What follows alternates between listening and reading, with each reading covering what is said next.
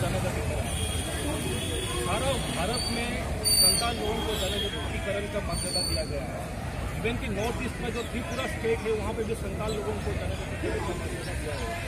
लेकिन हम लोग का असम में क्यों अभी तक रिकॉर्ड करके रखा है? कितनी जनसंख्या हमारा आसाम में फ़िलहाल करीबन बारह लाख का जनसंख्या है संतान लोगों की लेकिन अभी भी बहत्तर साल हो गया, भारत को स्वाधीन होने के बाद इतना दिन से मांग चल रही है अभी तक कोई भी सरकार को ये अभी तक हमारा मांग जो है पूरा नहीं किया। हम लोगों का बहुत आशा था कि अभी जो नया सरकार आया है सरकार, वो हमारी मांगे पूरे करेंगे।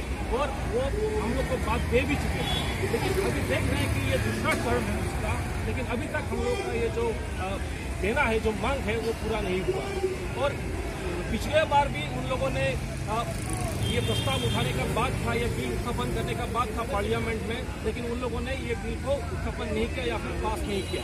और इस बार भी विंटर सेशन में यही हम लोग का मांग है और इसलिए हम लोग दिल्ली आए हुए हैं कि अभी जो विंटर सेशन चल रहा है, इस विंटर सेशन में ये बिल उत्थापन होना चाहिए और इस बिल को पास करना चाहिए। ताकि को मिले। ये नहीं मिलने की वजह से हम लोग का जो पॉलिटिकल सेफगार्ड है वहाँ पे वो नहीं मिल मिल रहा है। हर बार आप अगर देखेंगे आसाम का न्यूज़ और आसाम का न्यूज़ अगर चेक करेंगे तो संतान लोगों के ऊपर बहुत अन्याय अत्याचार हो रहा है। अच्छा सर जैसे बारह लाख लोग हैं और पिछली बार भी बीजेपी ने आप लोगों को बोला कि आपका अधिकार मिल जाएगा उसके बाद फिर दोबारा बीजेपी आ गई जैसे आपने बताया। अभी आप चल रहा संसद उसमें आप लोग आए हुए नहीं सुनवाई होती क्या आगे इससे बड़ी जनसंख्या में आंदोलन होगा आप लोगों का। हाँ बिल्कुल होगा, क्योंकि हम लोग अभी आए हैं, ये मांग करने के लिए कि आप लोगों ने हमें वादा किया था कि देंगे बोल के, लेकिन नहीं दिया पिछले बार।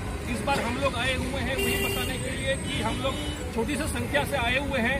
लेकिन अगर आप इस बार हमारे मांगे को पूरा नहीं करेंगे, बिल को उत्थापन नहीं करेंगे, पास नहीं करेंगे तो हमारा असम में भी बड़ा आंदोलन होगा, और इससे बड़ी जनसंख्या में हम लोग दिल्ली में भी आके धरना करेंगे।